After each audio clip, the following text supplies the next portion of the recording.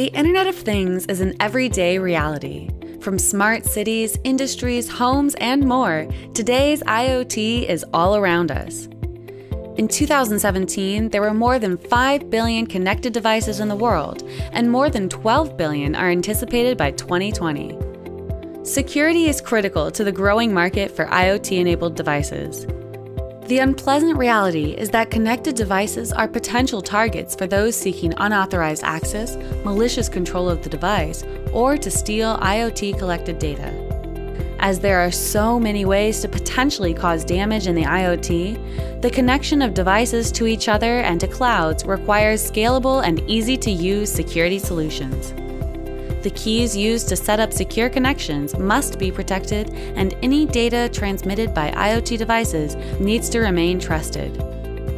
A secure element, a technology proven in identification applications such as e government, acts as a root of trust.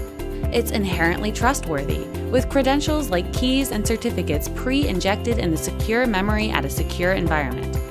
This root of trust at hardware level provides a solid foundation to the IoT device and its connections.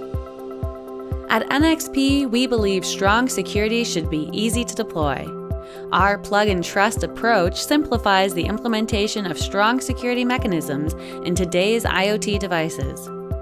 NXP's latest A71CH secure element delivers zero touch cloud onboarding, proof of device origin, secure manufacturing, and increased security at the edge right out of the box, so you can securely connect to clouds, infrastructures, and services without writing security codes, managing, or exposing keys. At NXP, we help keep secrets secret.